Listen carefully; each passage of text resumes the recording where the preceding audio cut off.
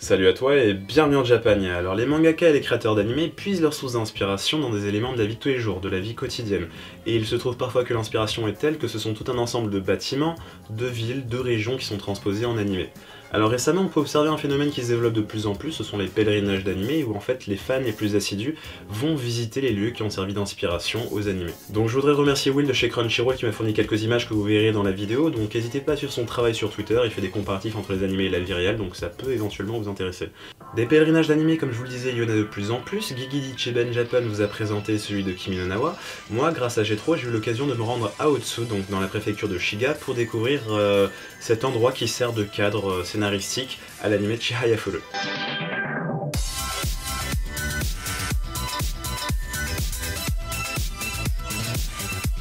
Mais avant toute chose, il y a une affirmation sur laquelle je voudrais revenir et sur laquelle on ne peut être que d'accord, hein, c'est qu'un animé, ce n'est pas la réalité. Et cela se passe dans de nombreuses situations où les animés vont déformer, exagérer, voire glorifier certains pans de la réalité, certains pans de la vie de tous les jours. Alors vous n'êtes pas sans savoir la quantité incommensurable d'animés dont la trame et le cadre de l'action se situent à l'école, au lycée ou à l'université. Alors si on décide de rester sur les animés qui se veulent réalistes, montrant l'ordinaire vie d'un étudiant normal, hein, d'un étudiant banal, on pourrait penser que la façon dont est représentée sa vie amoureuse, sa façon de parler, ses caractéristiques qui lui sont propres au personnage, nous offre une parfaite représentation des vies étudiantes au Japon. Sauf que le problème c'est que d'après les étudiants japonais eux-mêmes, hein, la vraie vie est assez différente de celle qui est dépeinte dans les animés. Et d'après une enquête que j'ai trouvée sur Rocket News, étudiants japonais nous donnent les trois plus gros clichés étudiants que l'on trouve dans les animés. Donc parmi ces clichés on retrouve les lycéens qui vivent seuls, les escapades sur les toiles d'école, ou le fait de n'avoir que des beaux gosses et des jolies filles à l'école un petit peu exagéré. Bon, on ne va pas rentrer dans le détail de toutes les catégories d'animés qui peuvent exister, hein, ceux sur la vie de tous les jours, ceux sur le sport, sur les romances, etc. Non, bon, maintenant qu'on a établi en fait une base, donc euh, vous avez conscience de cette nuance qui existe, maintenant je peux vous dire que les animés nous offrent une précision chirurgicale en fait de l'atmosphère que l'on retrouve dans la vie réelle. Une fois qu'on s'étage de la trame scénaristique et des personnages et qu'on ne se base que sur le cadre scénique, eh bien on peut se rendre compte que c'est vraiment une représentation très très précise de ce que tu retrouves dans la vie de tous les jours, que ce soit les paysages urbains, donc avec euh, la foule de gens, les néons, les publicités un peu kawaii, ou bien même le monde rural avec euh, sa nature, ses temples, son atmosphère. Il en va de même pour le côté alimentaire avec toute la nourriture, hein. vous savez celle qui est représentée au détail près dans les animés et qui limite te mettrait l'eau à la bouche, eh bien vous pouvez la retrouver dans la vie de tous les jours, dans la vie réelle, etc. Donc aucun souci là-dessus. Donc avant de venir au Japon pour la première fois, rien qu'avec les animés, j'avais déjà une petite idée, une petite euh, attente du Japon. Je m'attendais à voir des fils électriques en suspension, je m'attendais à voir des, marquages kanji sur le sol, je m'attendais à voir des tenues écolières, des jupes, des salarymen un peu pompettes, tout ça.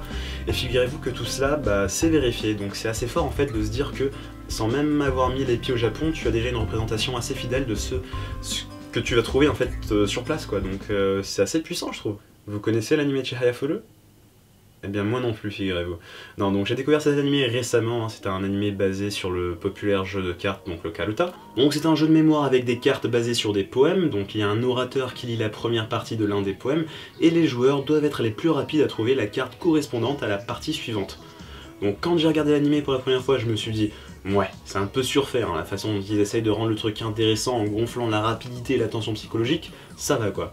Mais en fait, pas du tout. J'ai eu l'occasion de voir des matchs de Kaluta de haut niveau, donc avec des joueurs limite professionnels, et je peux vous assurer que c'est impressionnant. Donc ce qui est intéressant, c'est que j'ai eu l'occasion d'assister à cette première Coupe du Monde de Kaluta. Alors du coup, observer un match de Kaluta, c'est super impressionnant parce que ça mêle pas mal de techniques, hein, de la rapidité, de la mémorisation, etc. Franchement, c'est beaucoup plus impressionnant que ce que je pensais.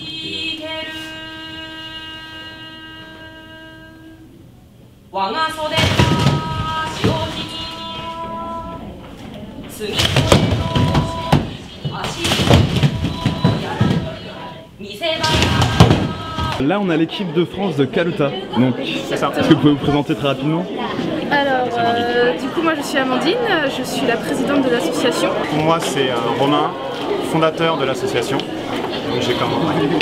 J'ai commencé, il y a 6 ans, un peu moins de 7 ans. Alors moi c'est Quentin, ça fait 4 ans que j'ai commencé le Karuta comme Amandine. Euh, moi c'est Félix, ça fait 5 ans que j'ai commencé. Bah alors du coup est-ce que vous pouvez me dire euh, d'où vous est venue cette passion du Karuta Comment est-ce que vous avez découvert en fait ce, sport? Je pense que je vais, pouvoir, répondre pour tout le monde. C'est tous le manga euh, tiré à feu. D'accord. Et l'animé. Oui, l'animé. Alors du coup, le karuta, vous l'avez appris avant d'apprendre le japonais ou est-ce que vous étiez déjà un peu en train d'apprendre le japonais? Enfin, dans Alors, quel ordre est-ce qu'il faut procéder? Je pense qu'en fait, je suis le seul à. À la base, j'étais en échange universitaire au Japon quand, euh, quand j'ai découvert le karuta, donc j'avais déjà un, un bon niveau en japonais. Après, euh, on a remarqué que du coup, connaître le japonais, à part bon, la lecture ça, c'est indispensable, mais connaître le japonais, savoir parler japonais, ce n'est pas indispensable pour apprendre à jouer au karuta.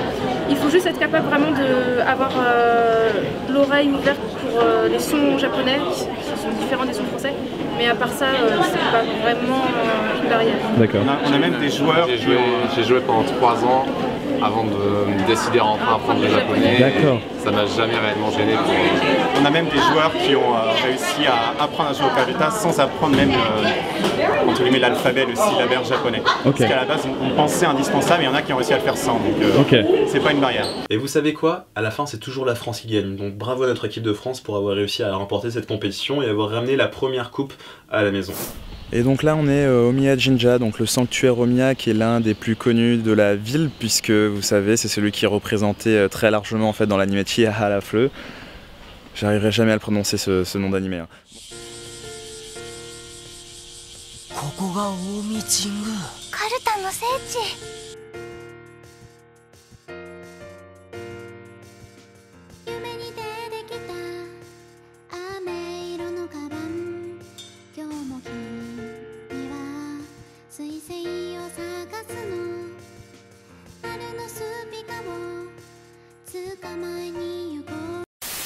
Did you feel there there are more tourists, uh, like since uh, Chi Hayafuru became more? Yeah, yeah. Uh, especially Japanese people, young young Japanese people. Uh, they uh, before uh, I think mostly uh, old people came to here, uh, Omi Jingu.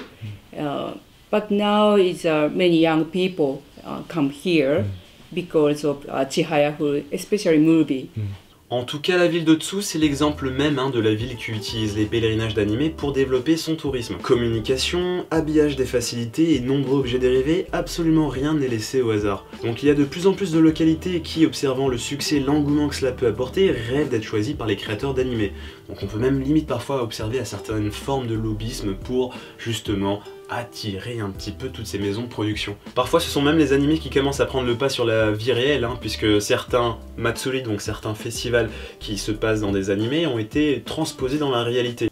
Voilà, c'est tout pour aujourd'hui. J'espère que cette petite vidéo t'a plu. Pour moi, c'était assez intéressant de faire euh, ça. C'était différent de ce que j'ai l'habitude de faire. J'espère que ça te plaît toujours d'avoir des formats un petit peu différents à chaque fois. Encore une fois, merci de regarder. Merci d'être toujours là, fidèle au poste. N'hésite pas à suivre les réseaux sociaux parce que si c'est le cas, si tu suis Instagram, tu sais globalement ce qui va se passer prochainement sur la chaîne. Il y a des belles vidéos, des beaux featuring, etc. Et voilà, donc je crois qu'on a fait le tour. Donc je vais pouvoir te laisser vaquer à tes occupations.